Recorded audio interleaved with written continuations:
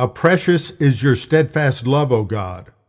The children of mankind take refuge in the shadow of your wings. For with you is the fountain of life. In your light we see light. Welcome again to Light from the Light.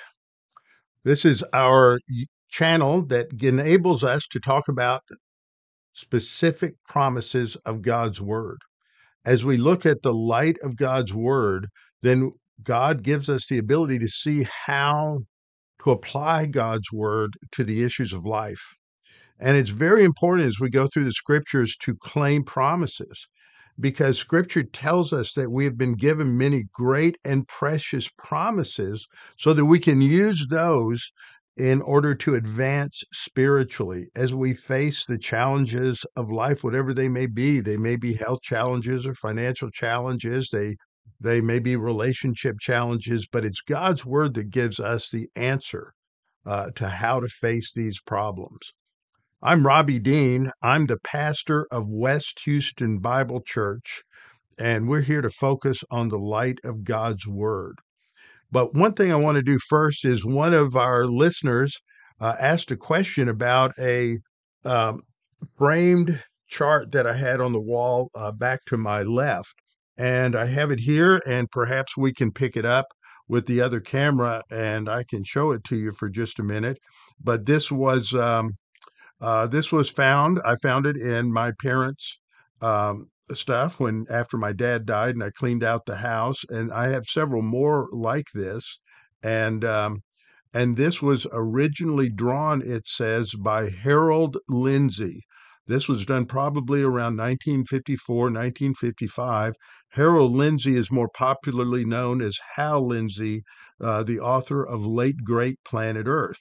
And so he drew this dispensational chart for uh, Pastor Bob Thieme, who's pastor of Berachah Church. I grew up going to uh, Berachah Church. That's where my parents went to church. And so that is uh, a very old and very classic um, drawing of the dispensation. So, being a strong dispensationalist and loving history, including uh, history related to uh, even modern times, uh, that's an important chart.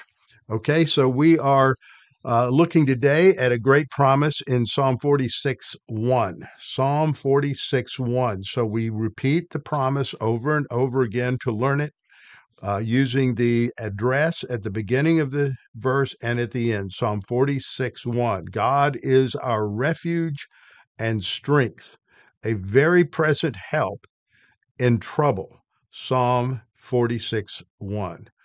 Now, this is the opening verse of Psalm 46. So it tells us right up front who God is that this is uh, this he is our refuge and he is our strength.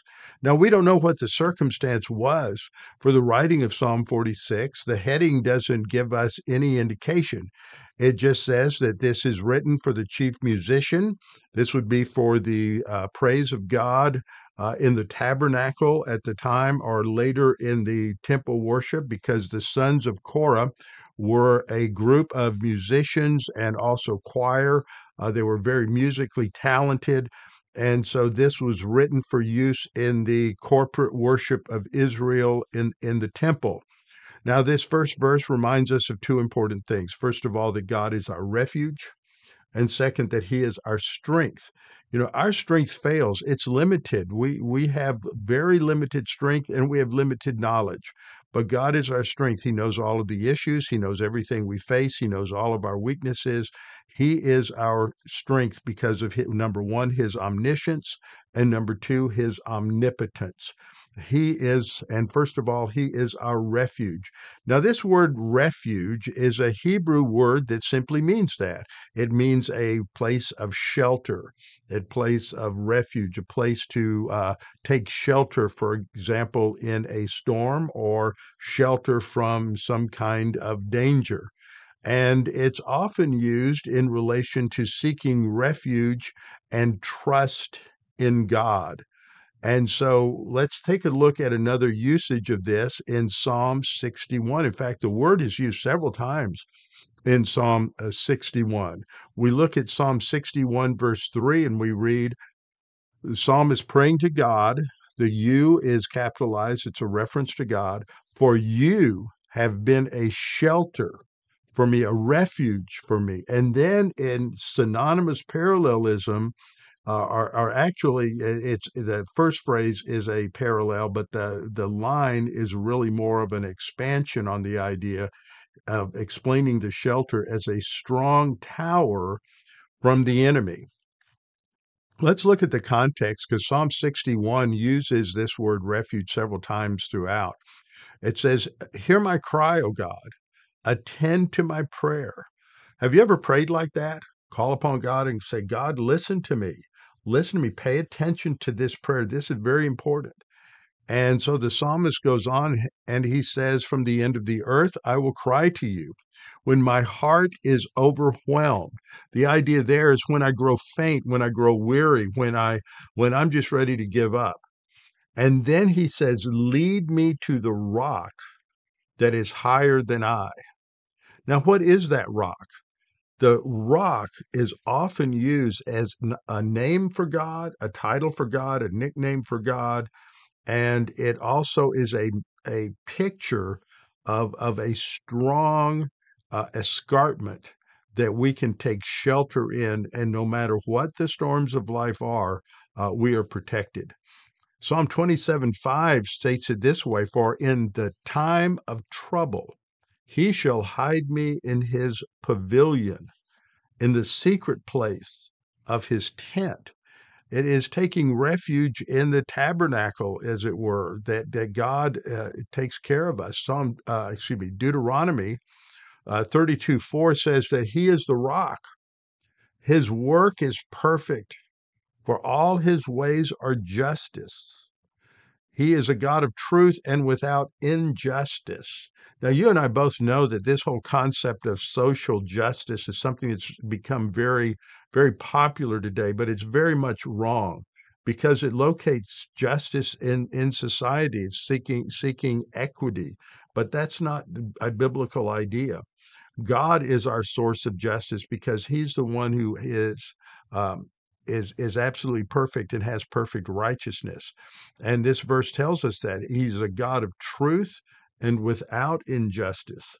Righteous and upright is he. He shall hide me. He shall set me high upon a rock.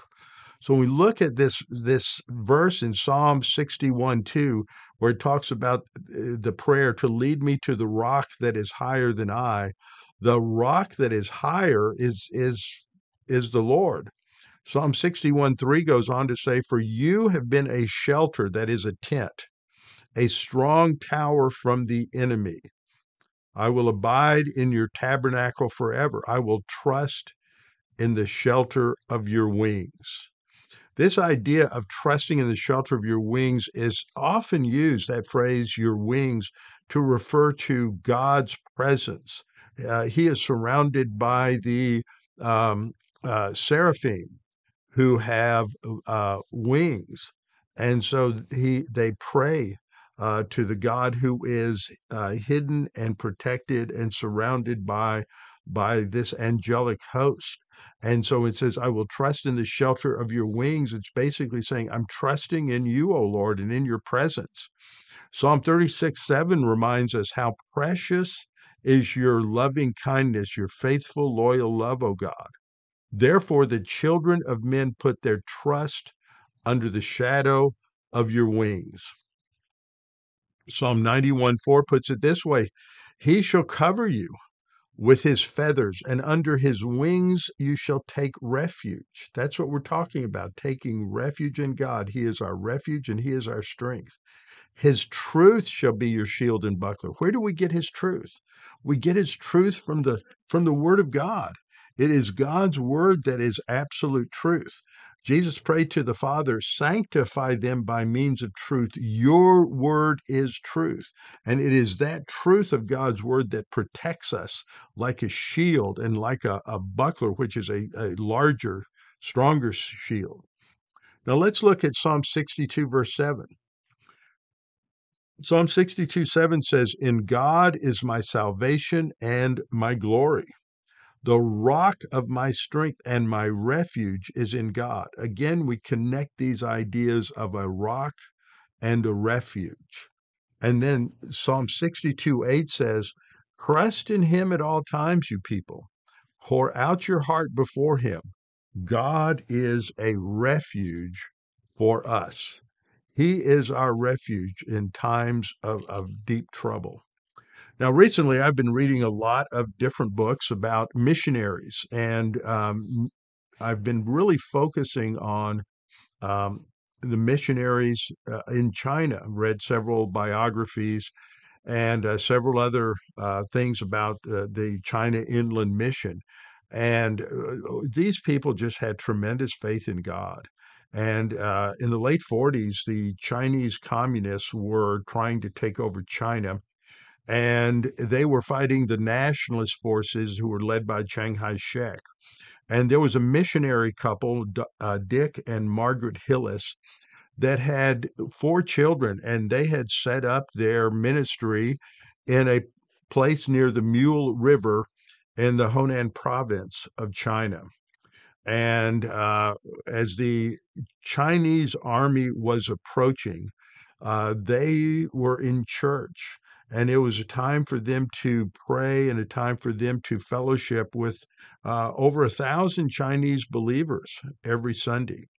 And one day, they were approached by the commander of the nationalist army in the area and he came to warn them and he told them that the communists were marching on on mule river and that they were going to overtake it and they warned him that he better leave and leave immediately but it turned out it was too late and sometimes we wonder what is god doing when something happens and it seems like it's too late but it's an opportunity for us to trust god and it was too late because the uh, communist army had already uh, destroyed the railroad bridges that left the area. And there was no way for them to escape.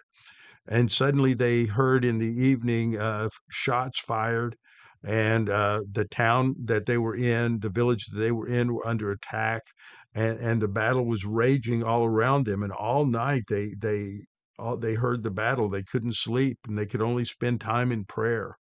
It wasn't long before the city fell and the communist troops came in. And now it, it, was a communist city, and it was a new problem.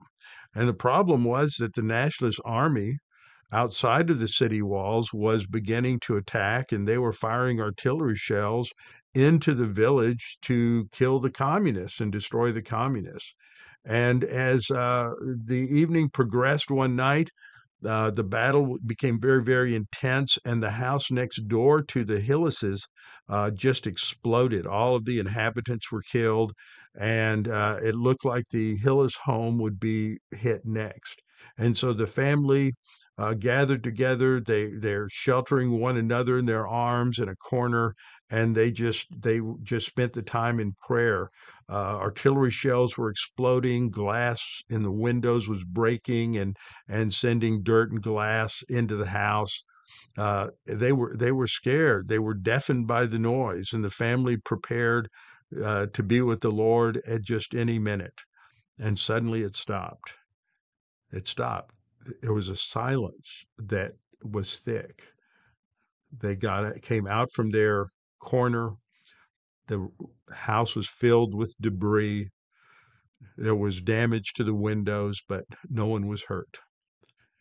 So Dick took his, each child took them to their bed, and he had a young daughter, Margaret Ann. When he put her in her bed, he saw that there was this scrap of paper that she had put under her pillow. And on that paper, she wrote, this verse God is our refuge and strength, a very present help in time of trouble. So, believer, let's remember that. That when we face difficulties, it, it, we don't know how much, how difficult it may be. But God is our refuge. God is omnipotent. And God is omnipresent. And so He is there. Uh, let's recite this verse together Psalm 46 1. God is our refuge and strength, a very present help in time of trouble. Psalm 46 1. We need to trust God like little Margaret Ann did. So we look forward to seeing you again when we take up the next verse as we continue to memorize the promises that God has given us. Next week, we will see you.